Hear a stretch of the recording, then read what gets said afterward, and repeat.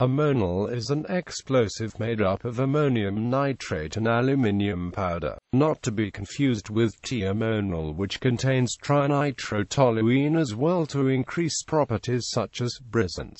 The ammonium nitrate functions as an oxidizer and the aluminium as fuel. The use of the relatively cheap ammonium nitrate and aluminium makes it a replacement for pure TNT. The mixture is affected by humidity because ammonium nitrate is highly hygroscopic. Ammonal's ease of detonation depends on fuel and oxidizer ratios 95 to 5 ammonium nitrate and aluminum being fairly sensitive, however not very oxygen balanced. Even copper metal traces are known to sensitize bulk amounts of ammonium nitrate and further increase danger of spontaneous detonation during a fire, most likely due to the formation of tetramines. More oxygen balance mixtures are not easily detonated, requiring a fairly substantial shock though it remains more sensitive than trinitrotoluene and C4. The detonation velocity of ammonal is approximately 4,400 meters per second or 9,842 miles per hour. History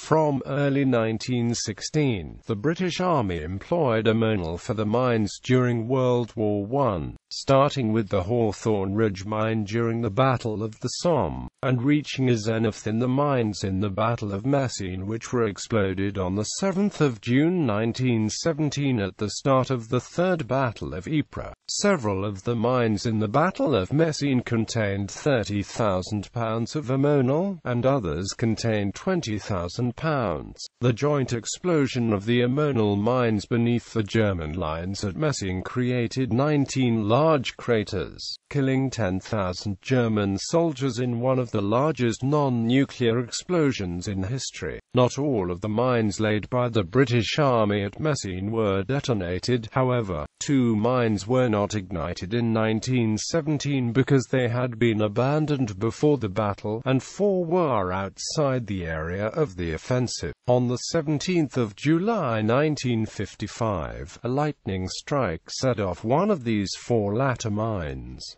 There were no human casualties, but one cow was killed. Another of the unused mines is believed to have been found in a location beneath the farmhouse, but no attempt has been made to remove it. Ammonal used for military mining purposes was generally contained within metal cans or rubberized bags to prevent moisture ingress problems. The composition of ammonal used at Messines was 65% ammonium nitrate, 17% aluminium, 15% trinitrotoluene, and 3% charcoal. Ammonal remains in use as an industrial explosive. Typically, it is used for quarrying or mining purposes. ETA, a Basque separatist organization, used 250 kilograms of ammonal in a car bomb in its attack on the Zaragoza barracks on the 11th of December 1987 in Zaragoza, Spain. Proportions an ammonal mixture previously used in hand grenades and shells has the proportions ammonium nitrate 58.6%, aluminum powder 21%, charcoal 2.4%,